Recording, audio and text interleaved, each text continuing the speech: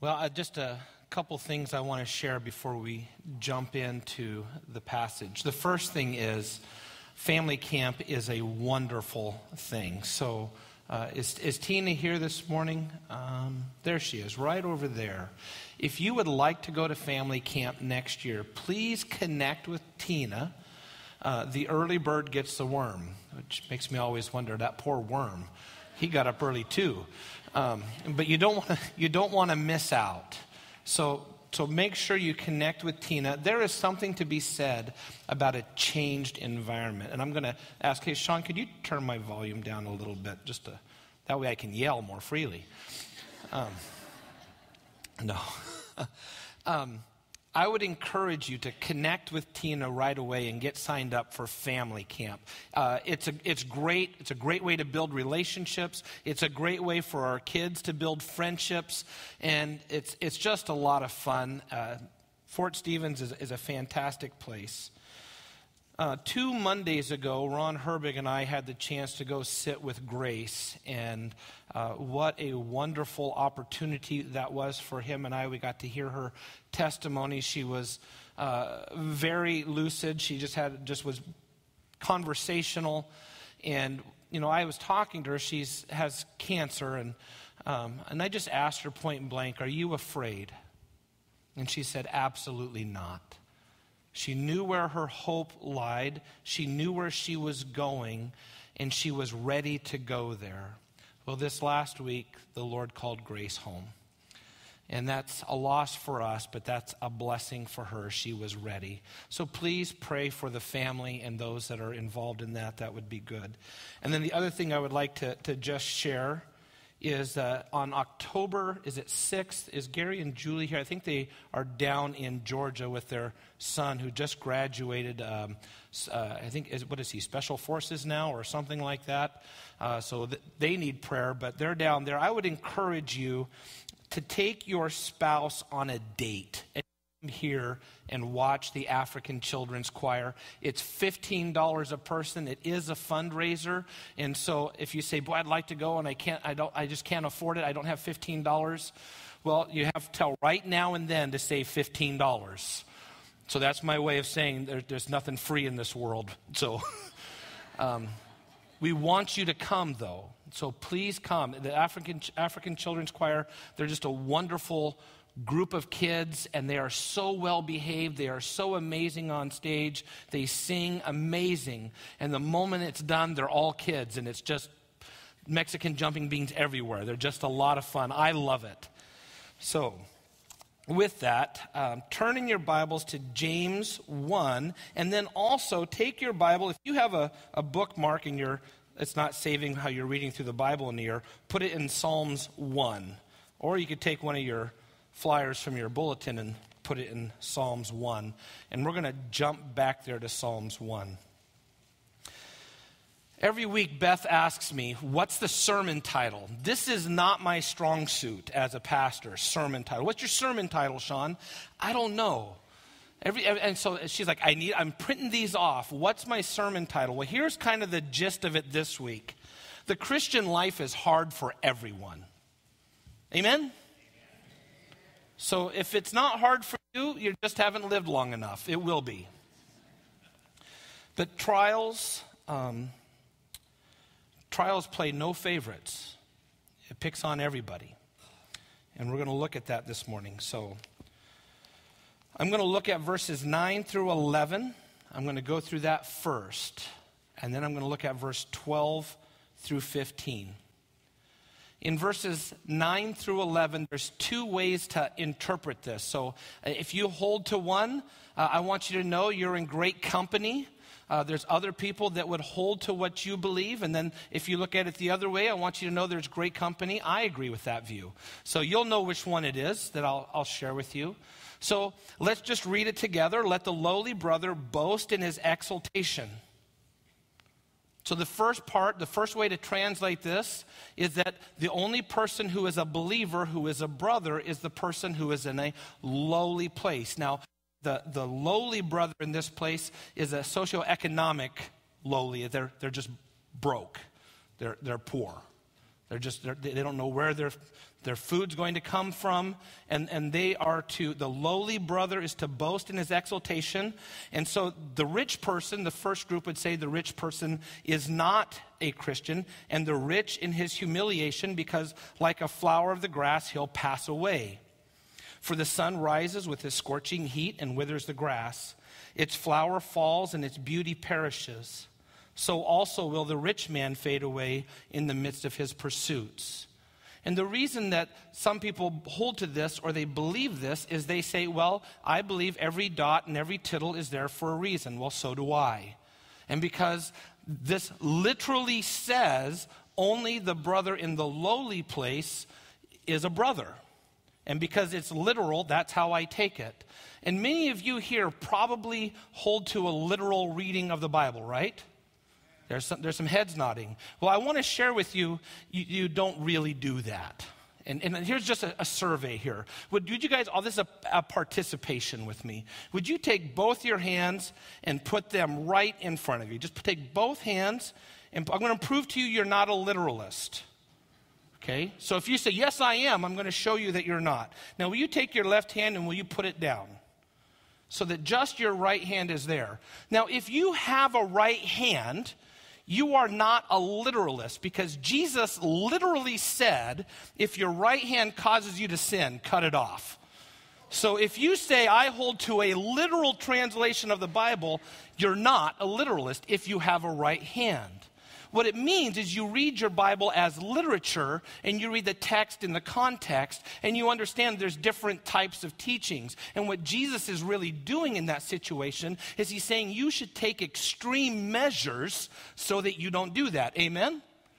So you're not a literalist. If you say, Yes, I am, and, and you have a right hand or you have a right eye, um, if, if, you got a right eye patch and you said, Man, it was causing me to sin, so I just gouged it out because the Word of God, I, kudos to you.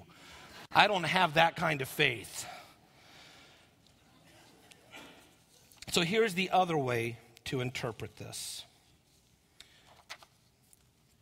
A lot of James's understanding comes from the book of Proverbs. The other way to interpret this is that both the poor and the rich are brothers. And so the reason that I would say that, I'll explain it to you why I hold to this. Now, if you want to hold to the other view that only the person in low position is a brother, you're in good company. That's great. I hold to this argument that both the poor and the rich are brothers. Because in Proverbs 22 2, it says, The rich and the poor meet together. God made both. And God desires all men to be saved. And I think that the rich are included in the all men. Here's the other thing trials exist for both the poor and the rich. Now, the poor person somehow thinks that if they had money, they would have fewer trials. But those of you who have money know for a fact that trials play, plays no favorites. You know, cancer doesn't look at your checkbook and say, oh, I can't touch him, they've got too much money. A child that dies from SIDS doesn't care how much is in your bank account. There's certain things that are beyond your control that it doesn't matter how much money you have. Trials exist for everyone. That's why I say the Christian life is hard for everybody. People think that if I just had this, no. And here's why God wants the poor Christian and the rich Christian to grow up spiritually so they can joyfully reflect his nature and character in every circumstance of their life. The poor and the rich are both supposed to grow up. So let's walk through this. The lowly brother should boast in his exaltation. Well, why? Why should he boast that he's broke or she's broke? Why, why should this person be happy? Well, for one, there is the constant daily reminder that they are absolutely, utterly dependent on God. They're praying, Lord, give us this day our daily bread because the cupboards are empty. And so there's a, an absolute reliance. But there's, here's what they can boast in their exaltation.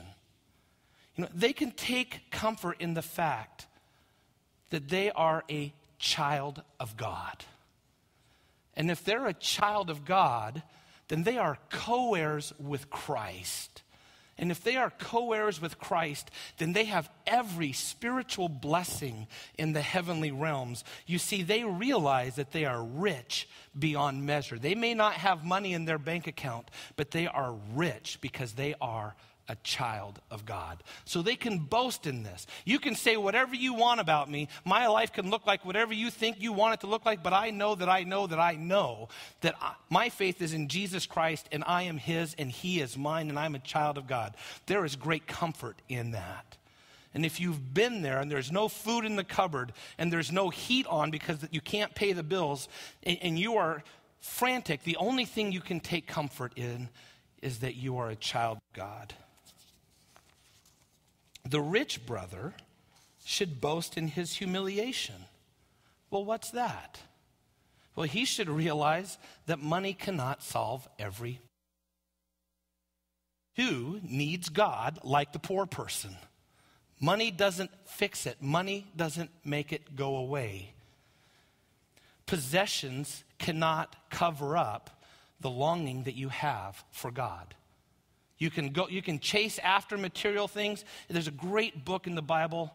Uh, it, it's called Ecclesiastes. And here was a man who had more money than you could ever imagine.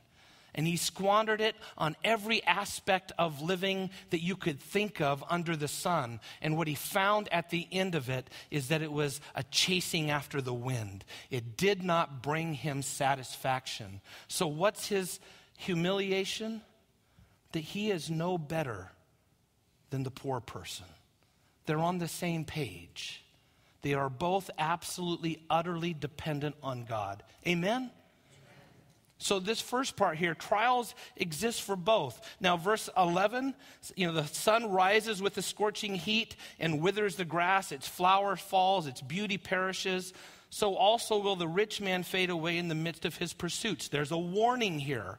If you have plenty of money in your checking account, there's, I met a person, I, don't, I, I was blessed when I met him and I was scratching my head, but they said, making money has never been a problem for me. And I think, wow, I wish I had that problem where making money was never a problem. They had more money than they knew what to do with. There's, here's, the, here's the warning that you can somehow make that your God and that you would pursue that and that you would chase that. You know, what is seen is temporary, but what is unseen is eternal. I'm not smart enough to make that up. That's right from the Word of God. Jesus said this No one can serve two masters, for he will either hate the one and love the other, or he'll be devoted to one and despise the other. You cannot serve God and money. Matthew 19, 24, we know this one.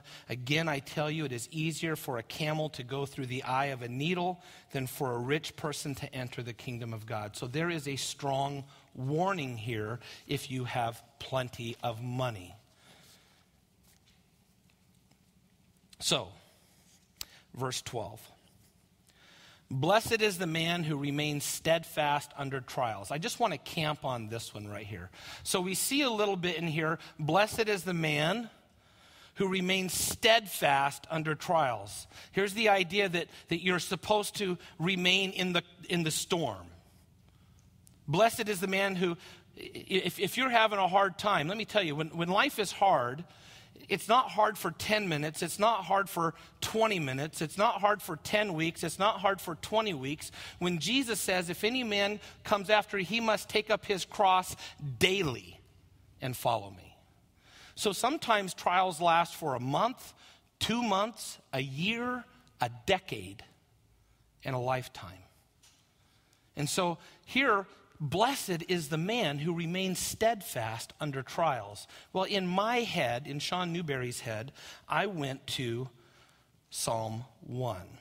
So if I go sideways this morning, it's going to go here because these are my thoughts here and how it relates to James 1:12. Uh, what's that? I do. I'm going all over the place. All right, if you're tracking with me, great. look at this, because you see here a man who remains steadfast under trials. There's a picture in Psalm 1 of a man who is steadfast under trials. So, blessed is the man who remains steadfast under trials. Psalm 1 says, Blessed is the man. That's how my mind went to Psalm 1. Blessed is the man. Now, this is who walks not in the counsel of the wicked, nor stands in the way of sinners, nor uh, sits in the seat of scoffers but his delight is in the law of the Lord. So the man who delights in the law of the Lord, this is a man that's blessed. And on his law he meditates day and night. Now here's the picture of the steadfast person. He is like a tree planted by streams of water that yield its fruit in season, and its leaf does not wither. In all that he does, he prospers. So, in my head, in Shawn Newberry's head, I think of a, a, big cherry tree because when I was a little kid, right by our apartments, there was a huge cherry tree that I used to climb with my friend Jason, and we'd eat cherries. Now, I have to warn you, if you eat a lot of cherries, there's some negative consequences. I didn't know that, but I learned that that day. But we spent all day in this huge cherry tree, and it was yielding its fruit in season. I want you to know the man who remains steadfast under trials is a man who is grounded, who is rooted in the Word of God.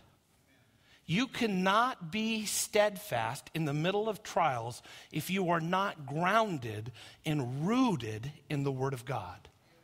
And so, if you're going through hard times, my first question I would ask you, and you are saying it's overwhelming, it's very difficult, my first question to you would be Are you in the Word of God?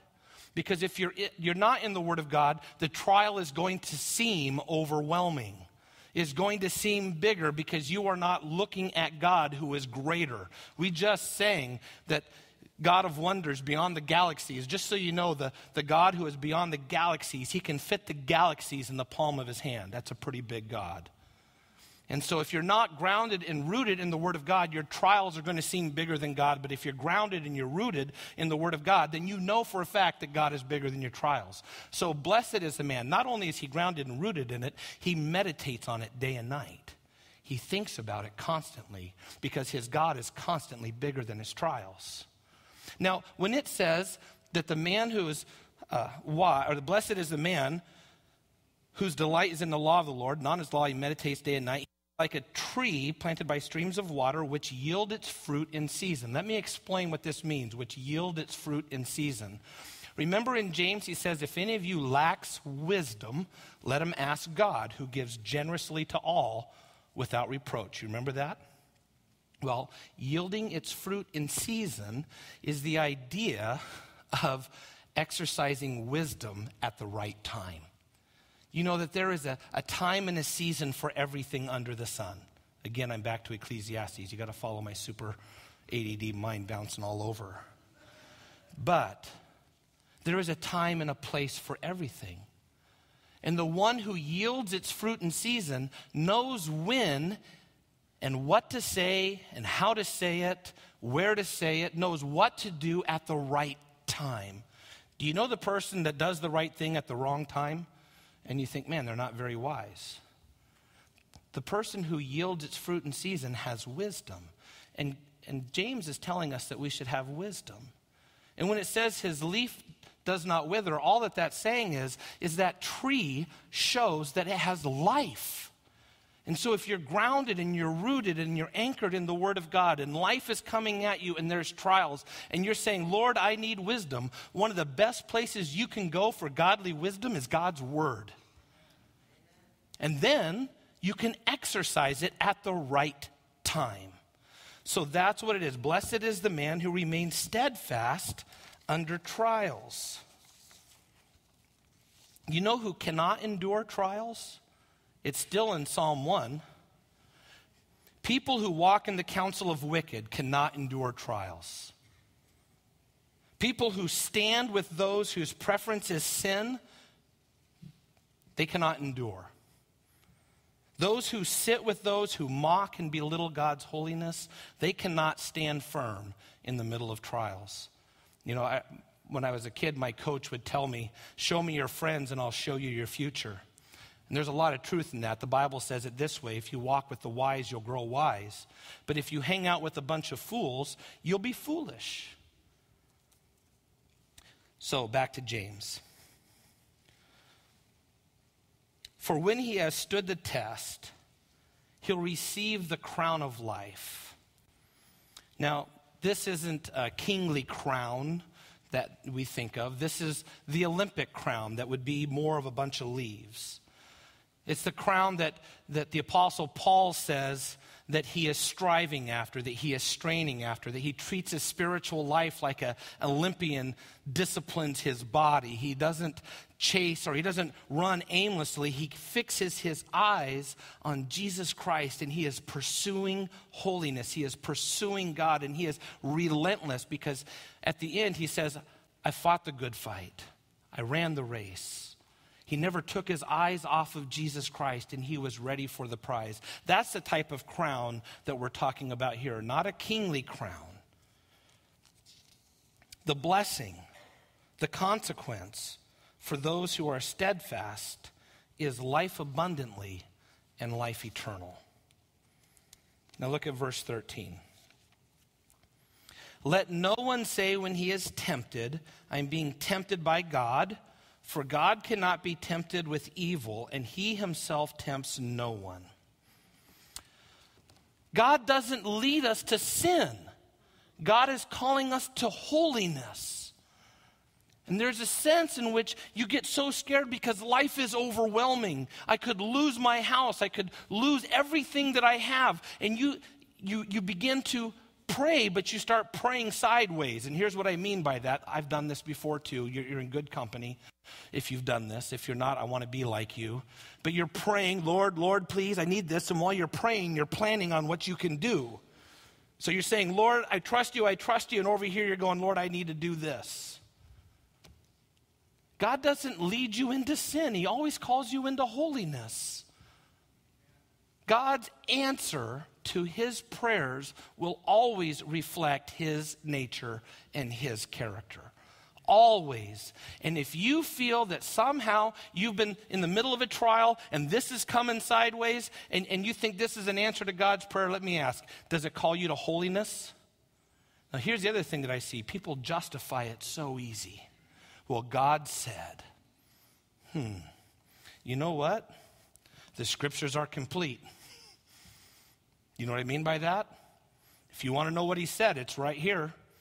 And if you really feel that God's speaking to you and it doesn't reflect this and it doesn't go along this, there's another voice you're, you're listening to, and it's the voice of a liar, the voice of the father of all lies. You better be careful who you listen to because God's answer will always call you to holiness. The devil is a liar. And some of the most pathetic people I have ever met are people who believe their own lies to justify their own sin. Now, there's genuine pity on my part, but their delight in their deliberate disobedience is also disgusting to me. And so, in that aspect, I say it's, it's pathetic. Let me tell you something. This is not anything new. I'm going to share with you three things Life is hard. If you're taking notes and you don't know this, you can write this down. Life is hard.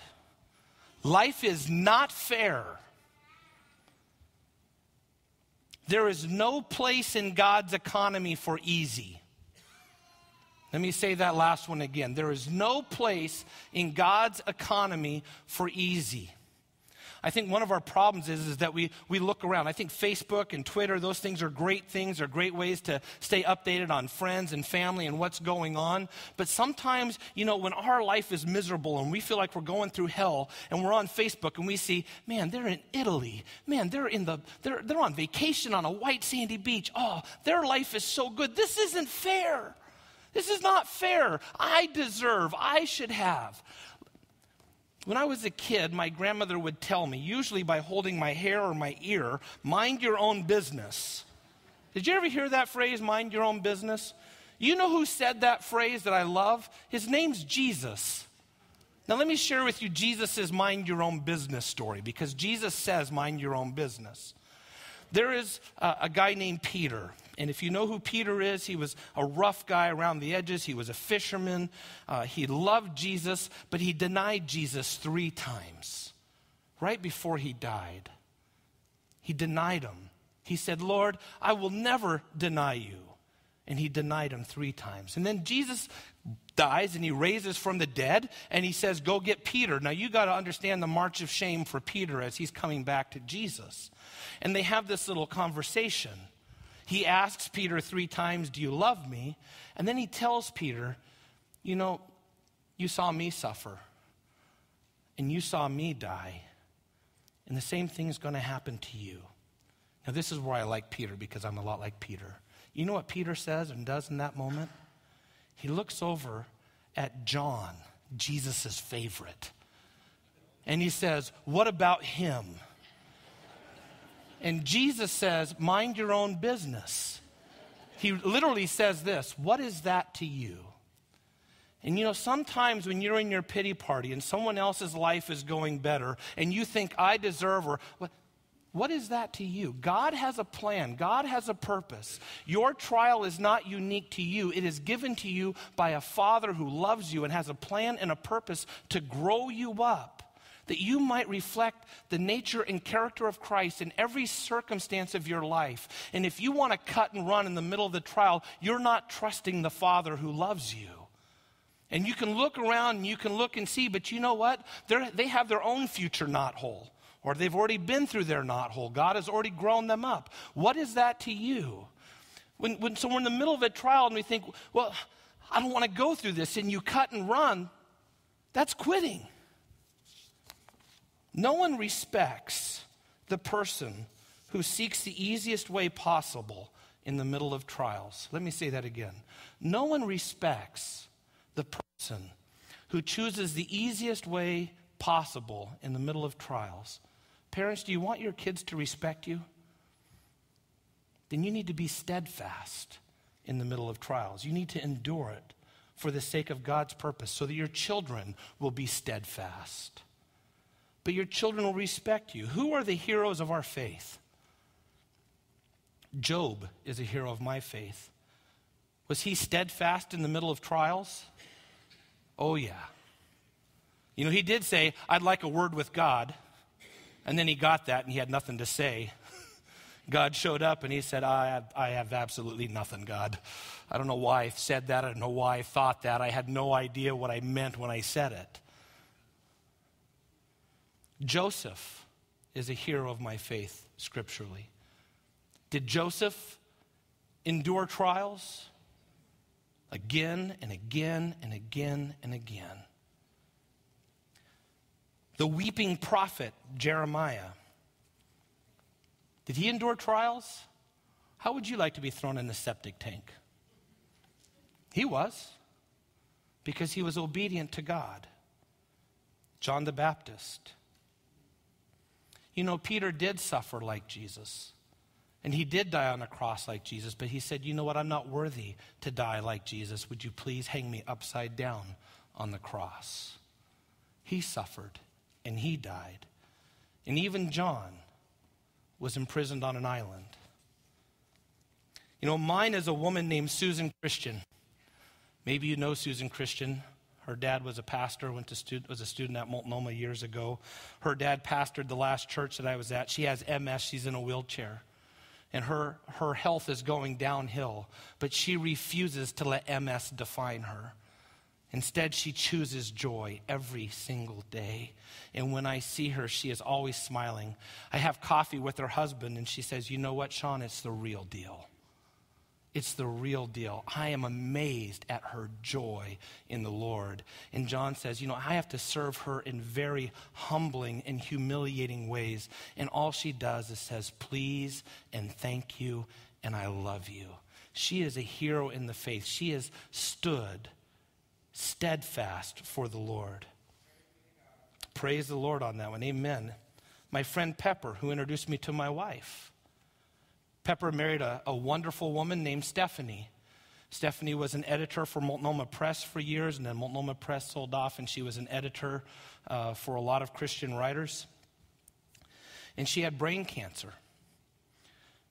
She suffered for five years with that. She had two little boys, beautiful boys, Sawyer and Calvin. And the Lord called her home. And I went to her funeral and I gave Pepper a big hug. And I said, Pepper, if there's anything you need, please let me know.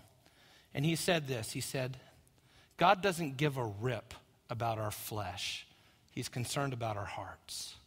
And He wants us to love Him, and He will take us through anything so that He is all that remains. And I thought, you know, Pepper, that's so true. I'm going to share that with a lot of people. And I have been. You see, there are heroes of my faith. Pepper could have cut and run. He could have said, I didn't sign up for this. He could have left his wife. He could have left his kids. He could have said, This is too hard. I had a professor at Multnomah. His name was Tim Aldrich, Dr. Joe's brother. He had a daughter that was born blind. And his wife said, You know what? I didn't sign up for this. I'm out of here. She cut and she ran and she walked away from God. There might be someone here this morning who is in the middle of trials and you're thinking, man, I need to cut and run. I need to get out of here. I don't, I don't deserve this. Yes, you need this. God loves you and He has a plan for you. And He wants you to keep your eyes fixed on Him because He is going to do something far more uh, greater than you could ever imagine with your trage- tragedy. I know it because that's how God works in His economy. God works all things together for good. If it's not good, He's not done yet. Keep waiting. 1 Corinthians 10:13 says this, "No temptation has overtaken you that is not common to man." God is faithful. He will not let you be tempted beyond your ability. But with the temptation, He will provide the way of escape that you may be able to endure it. So you can't say, God caused me to do this. No, God always provides a way out. It's just that you stop looking at God and you keep looking at sin. The difference between the person who is steadfast and the one who feels compelled to sin is the one who is steadfast, sees God as more beautiful and wonderful than the sin that tempts them. They keep Christ in front of them, they keep the gospel near to them. They realize that Jesus died for them, and in dying for them, he actually purchased them with his blood. They no longer live, but they live for Christ. That's the difference between the person who endures. I no longer live, but Christ lives in me. So, verse 14 each of you is tempted when he is lured and enticed by his own desire. Let me share with you something about the desires of your heart. Scripture speaks about this. The Old Testament says the heart is deceitfully wicked above all things. Who can understand it?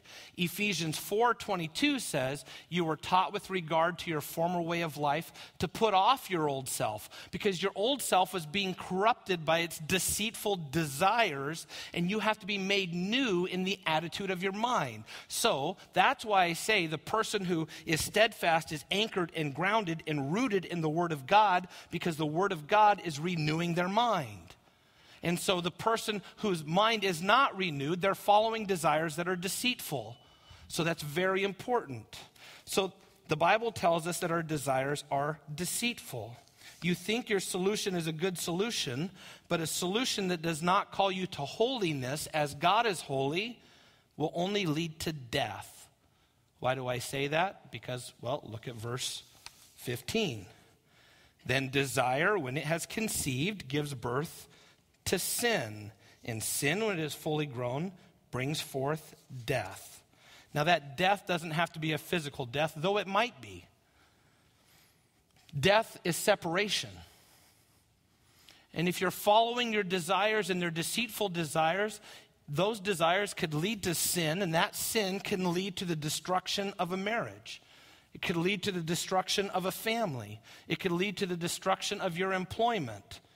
You could lose your friends. You can destroy your hopes and dreams. Jesus said this the devil comes only to steal, kill, and destroy. He says, But I have come that they may have life and have it to the full. Pursuing sin is a pursuit of the devil, who is a liar, and he will only lead you to death. Pursuing holiness in Christ will result in life. You know, when a husband and a wife pursue Christ, the life in that marriage is beautiful and full. When parents and children are pursuing holiness in Christ, the life in that family is beautiful and full. When a church pursues holiness in Christ, the life of the church is beautiful and full. And I tell you, I want to pastor a church that is filled with the life of Christ.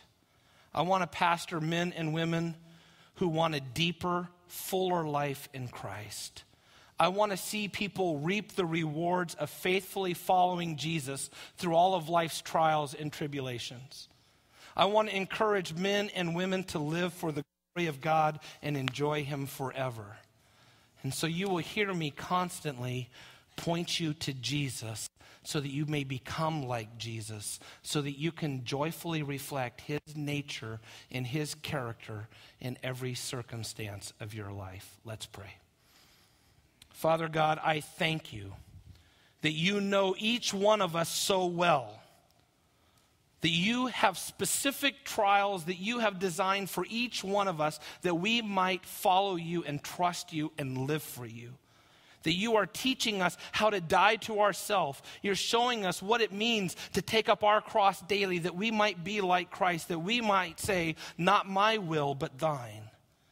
Father, I pray that you would encourage hearts this morning for people who are going through trials that you would let them know that you love them, that you care about them, that you see their needs, that you haven't left them, you haven't abandoned them. Father, if there's anyone here who is tempted to pursue sin, who is temp- tempted to cut and run, I pray, Father, that they would be encouraged to be steadfast, that they might see Jesus as more beautiful than the sin. They might recognize that you love them that you sent your only Son to die for them.